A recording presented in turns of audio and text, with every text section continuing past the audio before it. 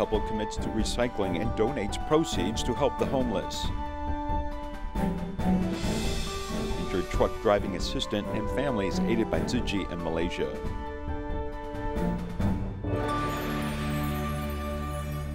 I'm Sean Scanlan. This is Da Ai Headlines. At the border between the United States and Mexico, an elderly couple joined the ranks of Tzu Though the wife is suffering from cancer, they still pick up recyclables every day and use the funds to help solitary elders and the homeless. How I met Tzu Chi was through my wife.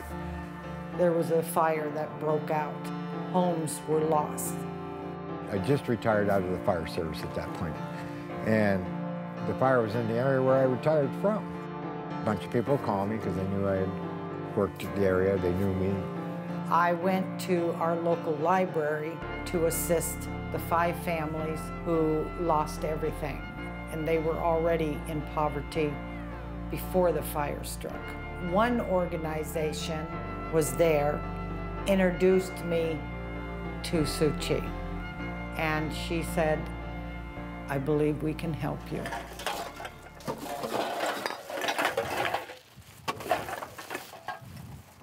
I learned recently this color has to be separated from the clear. Many people gave up uh, recycling because the rules and regulations are getting more and more difficult. And I'm slowly trying to get them to recycle again, and I sort it.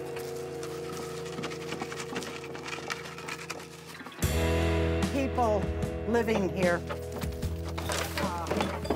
in our community. Hold on.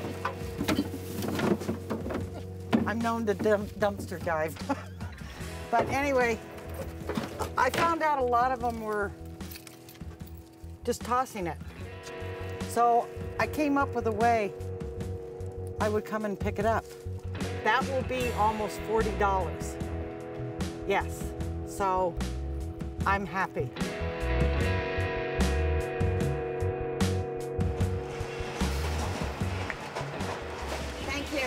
Morning to you. Wait a minute, is it after? No, it's still morning. The money that I will be receiving is from all the seniors who want to make a difference in our communities and recycle. And I let everybody know the next week, thank you, all righty, how much they donated. And I said, you have offered so many prayers and are helping so many other individuals. Well, you know that as part of Tzu Chi, we, we collect, recycle. Oh, you do?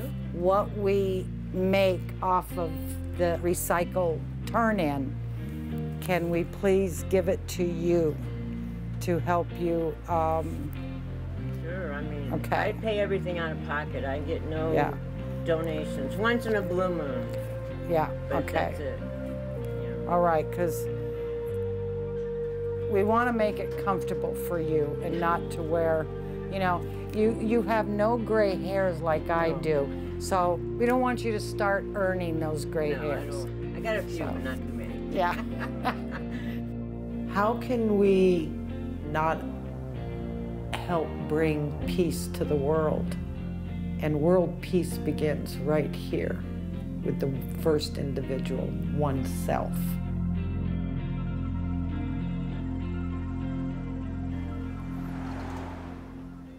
During the United Nations Climate Change Conference in Madrid, many people protested in the streets.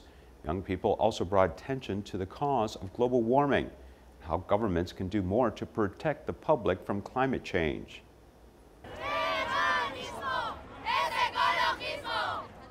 Madrid citizens and environmentalists from around the world gathered at the avenue of a botanical garden. They hope to convey the message to the leaders of the world through peaceful demonstration.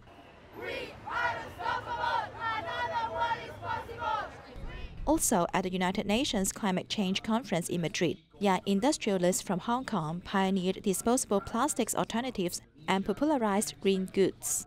I truly believe that um, individuals have the power to change the world. I, I hope that my actions are connected to uh, the way the food systems are, uh, to the uh, animal welfare around the world, uh, and also its contribution to climate change. Many young people believe that climate warming is a national policy issue. They are unwilling to make changes. However, some people take a different approach. For example, I personally try to use recycle bags. I always bring my own bag when I go to the supermarket. I'm very strict about sorting recyclables, which can facilitate their subsequent recycling. As long as I can take public transportation, I will not choose to go by private car, because this can promote low carbon green travel. I think individuals have a huge power uh, in deciding what um, their daily uh, decisions and actions are, and how this might be able to change the world uh, if we do this collectively. Countries around the world must reach the carbon reduction target by 2030, and the power of youth cannot be underestimated. Ms. Zhou, who lives in Southern California, is solitary elder. For a long time needed urgent care. Tzu Chi volunteers knew about this and went to care for her, yet they were not allowed into her home the first time because Miss Zhou was highly agitated. Volunteers tried to visit her many times and eventually she welcomed them in. She's now doing much better and Tzu Chi volunteers helped clean her home. 老天的疼爱，他还让我有最后的勇气，在走投无路的时候，到处打电话求救。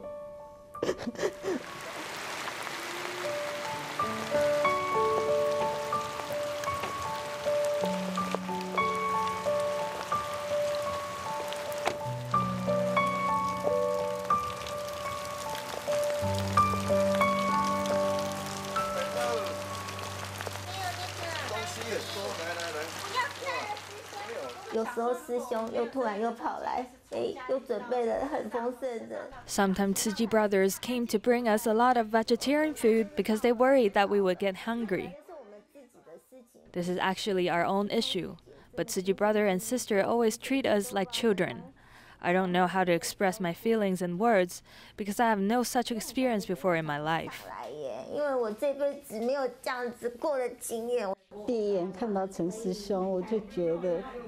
因为我这辈子没有这样子过的经验。第一眼看到陈师兄，我就觉得好面熟，我不知道为什么。When I first saw Brother Chen, I felt so familiar. I don't know why. Then I felt very warm, as if he is the angel brought by the God to encourage me to be brave. 鼓励我赶快站起来。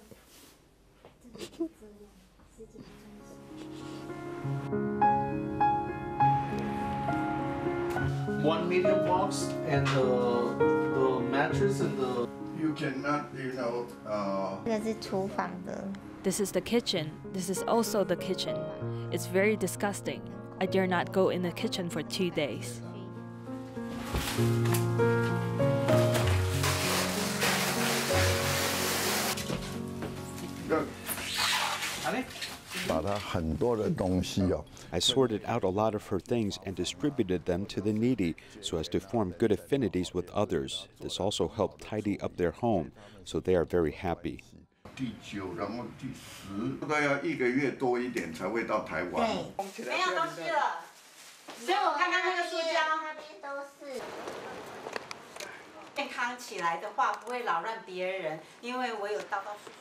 When I get well, I won't trouble others because I have the problem of muttering, so I would keep myself at home and talk to myself. Recently, for about half a year, I started to remind myself to go back to Taiwan to recuperate.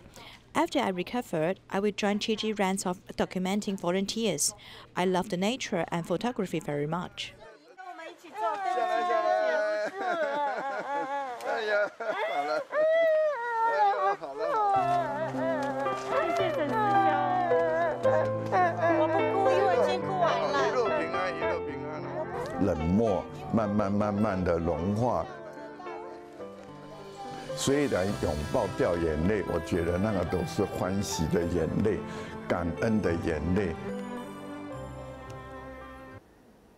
Ten years ago, Miss Li received an encouraging letter written by a Tzu volunteer after her husband's accident.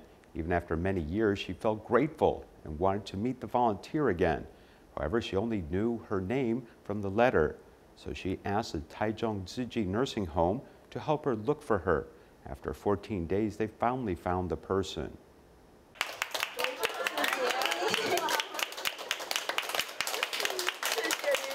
It has been 10 years after receiving a letter that Ms. Li and Chi volunteer Liu Wei Shou finally met. They hug each other deeply with appreciation and love. She cheered my children up. She also cheered our family up so that we went through the difficulties.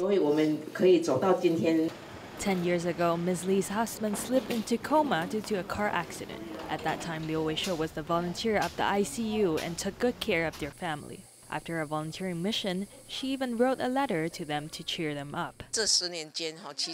Within these 10 years, I've been reading this letter again and again. Ms. Li's husband was later on moved to Taichung Tzu Chi Nursing Home. After her husband's death, Ms. Li recently received a message from volunteer Chen Jiqing about the Japanese affected residents who were coming to Taiwan to thank them for helping out after the 2011 Tohoku earthquake. The message reminded her of Liu Wei Shou, who wrote the letter for her. She hoped to meet our Tzu sister Liu Wei Shou and asked if I could help finding her. So I said, of course, I could help out. The Taichung Tzu Chi nursing home received the request of finding Liu Wei Shou. Although they only had her name without any other contact information, they still find her within 14 days. I feel happy for them after seeing they live well. And I wish she could still live well in the future with hopes. We still appreciated her help. In the future, we also want to become a person like her by cheering others up. Even 10 years passed, the letter still brings their hearts together. Now they finally meet each other again.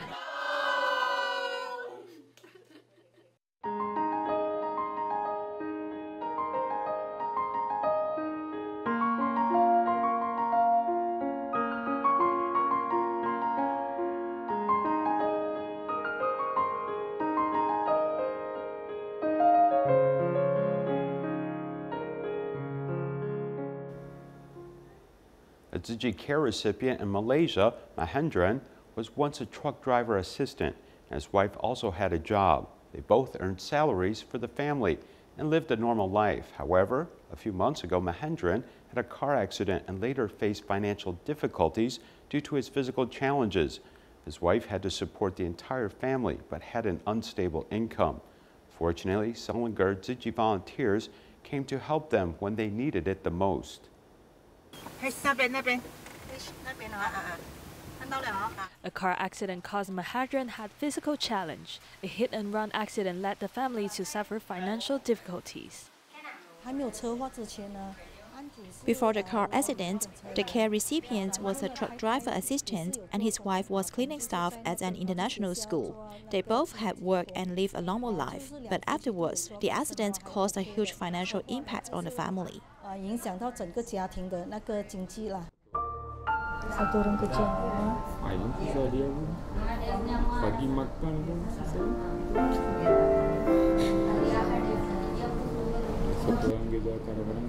My wife works for the entire family. I feel sorry for her.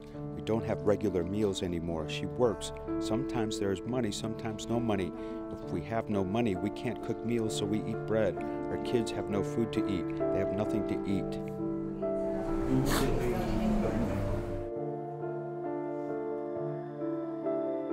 Five members of Mahendran family were skinny and had unstable meals.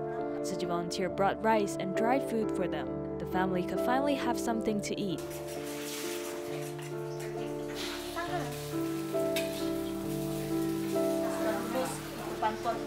You have passed the application for Chi subsidies. From now on, you don't have to worry about two children's school transportation fee. We will come here every month and bring rice and food here. As the master said, we have to make him feel safe, telling him that from now on, we will start visiting him, so he doesn't have to worry. We will provide help every month when we visit them.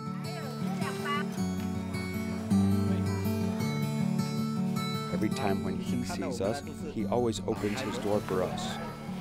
It was the Deepavali festival in Indian New Year. Volunteers brought cooked food to Mahendran's house and celebrated the festival with them. Eight months after that car accident, Mahendra's leg has gradually recovered. Whenever we come to his house, we see his family and children were all at home. We could feel the family cohesion.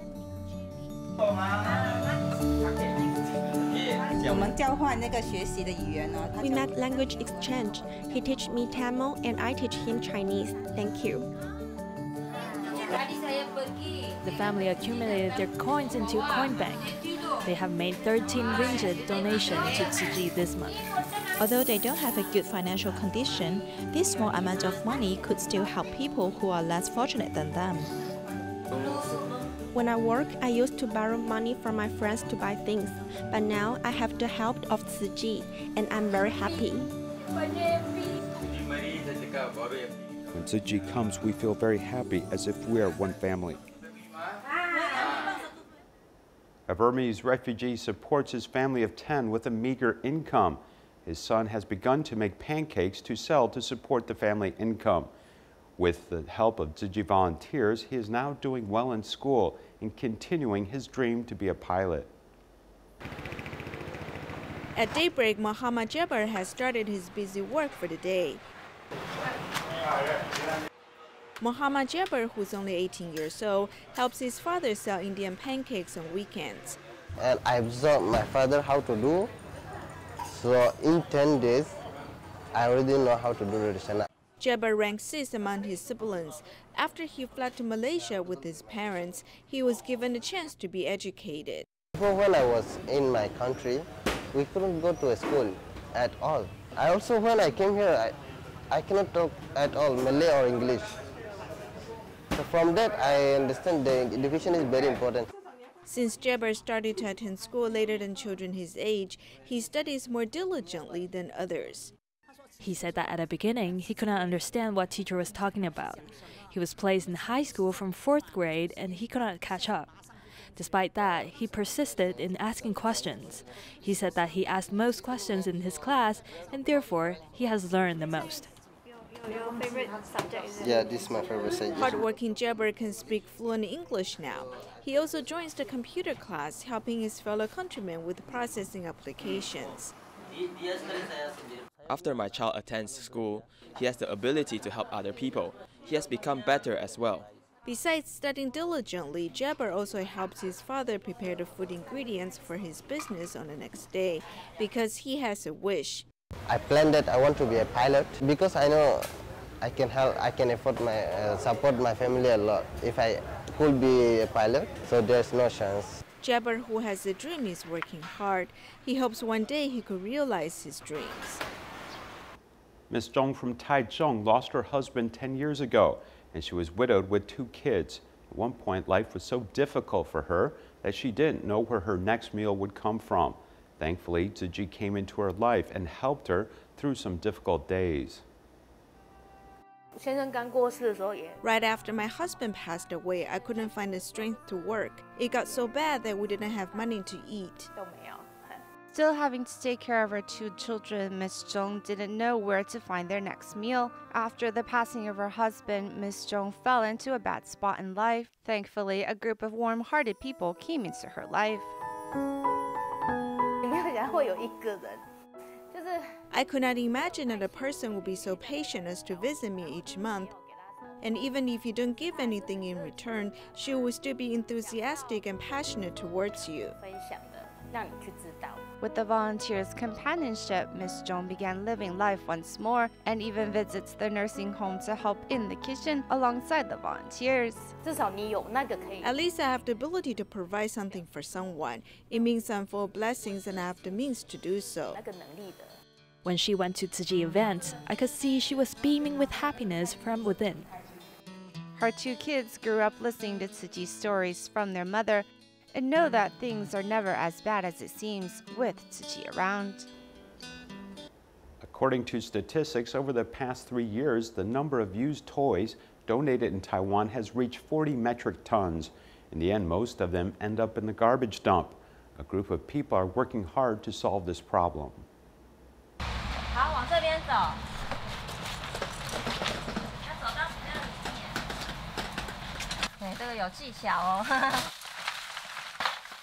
At the new Taipei City Toy Bank, staff members put secondhand toys in a warehouse, despite the high temperature of 36 degrees in August. These were all once children's beloved items.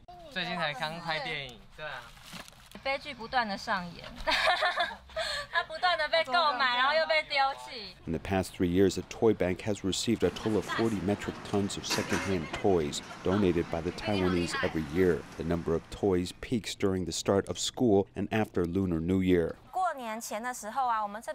Just before Lunar New Year, the toys are piled up to the ceiling.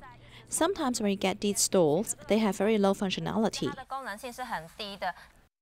Sorted toys are provided to 300 institutions per year. Playhouses and toy cars are very popular, but sometimes not every donated item can be used again. Modern toys such as bicycles are now being made with more and more composite materials. Once worn and damaged, the entire thing needs to be discarded and can seriously pollute the environment. We remove the plastic we can use again later, and we also take off the steel as we need to separate these items from each other. It's like this where we remove the screws. It's not easy to disassemble. Why? Many times there are lots of metal and they are stuck, so it's hard to take apart.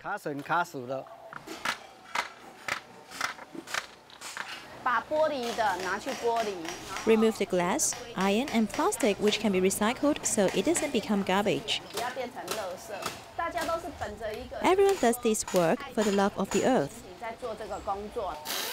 However, even if volunteers do not take a rest seven days a week and do their best to recycle resources, future trash from toys will still quickly pile up on the streets. Lin Junying, founding chairman of the ROC Play Association, still remembers an incredible scene when he was teaching in the university. A university student brought a big garbage bag full of dolls to class and asked his fellow students if anyone wanted them. Lin said that there are some 10,000 Dreamcatcher machines throughout the greater Taipei area. If 20 dolls are placed in each machine, which need to be replenished every day, after the short term fun of catching dolls, these prizes are likely to generate hundreds of metric tons of garbage. In fact, they will eventually be incinerated or taken to landfill. The first floor of the old apartment in this alley in Banqiao, New Taipei City, is Lin Junying's experimental research center. He has been researching the reuse of toy resources since 2000 and is the first expert in Taiwan to advocate classification of secondhand toys. The rough classification of toys is basically seeing if it is broken. His rough classification is if toys are usable or broken, and those that are broken if they can be fixed. If not, what parts are useful and which are broken. Next, it is divided into three material categories, such as T1, which is a natural material such as wood, metal, and paper, which can be directly entered into the resource recovery system. T2 is plastic and composite materials, and T3 are toys containing circuit boards and heavy metals. This waste costs more to incinerate or bury, and the government can charge the manufacturers a disposal fee. Tzu volunteers Lin Junying and the Toy Bank are working toward the same goal of extending the life of toys, reducing the consumption of resources, and better protecting the environment. Chi University of Science and Technology invited international students to perform traditional music and dance to celebrate the 30th anniversary of the university. We will leave you with this. Goodbye.